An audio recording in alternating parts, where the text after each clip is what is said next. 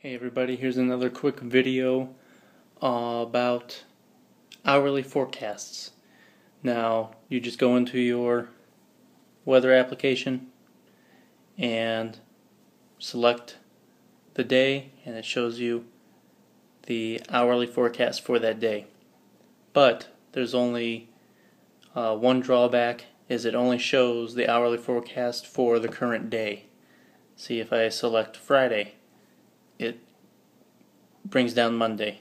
So it only brings down the current day. And so that is the hourly forecast for weather. If you like the video, please select like below the video on YouTube and subscribe button is above the video on YouTube as well. So I hope you enjoyed the video and I will see you in the next video.